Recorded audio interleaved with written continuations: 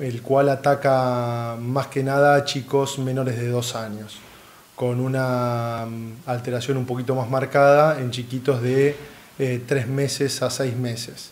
Obviamente con la edad más pequeña eh, los cuadros eh, son más graves.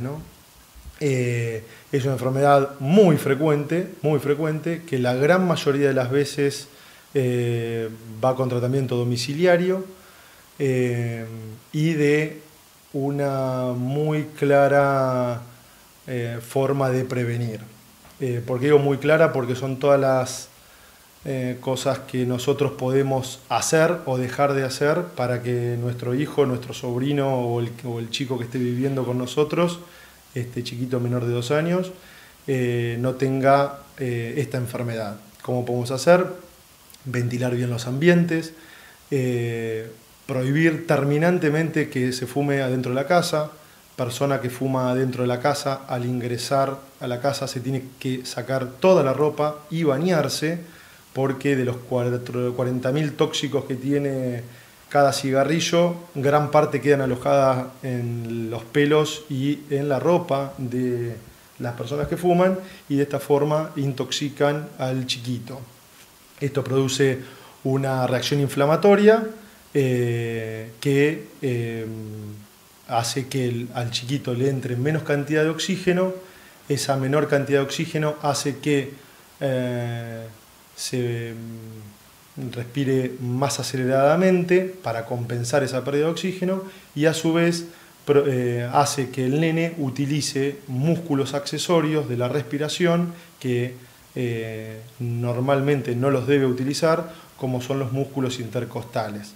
Por eso muchas veces vemos un chiquito que está agitado y una forma fácil de saber si está con dificultad respiratoria es ver cómo eh, se notan las costillas en cada respiración.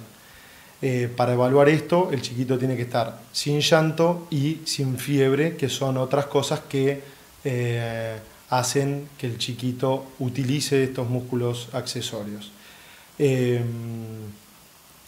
dijimos ventilar los ambientes, dijimos eh, prohibir el tema del cigarrillo, eh, todo lo que sea calefacción tiene que ser una temperatura eh,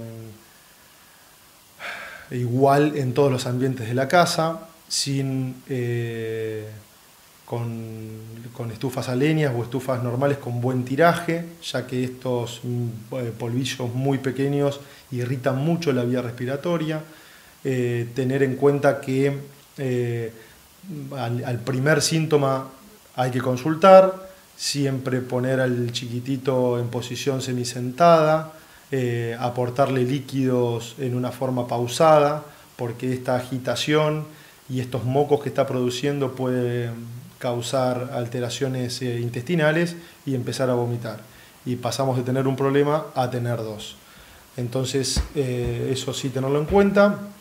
Eh, y, bueno, cuando vienen acá se les hace un puntaje de todas estas cosas, de la frecuencia respiratoria, la frecuencia cardíaca, el uso de esta musculatura, musculación accesoria y em, las sibilancias, que son ese silbido que muchas veces escuchamos. Eh, y ahí se, hace una puntuación. Según la puntuación, como dije al principio, la mayoría de los chicos se van a casa con tratamiento, otros se quedan un rato en el hospital y los, mm, eh, el menor número de casos eh, se queda internado mm, por ahí un día o dos días para hacer un tratamiento con oxígeno y un poquito más de control.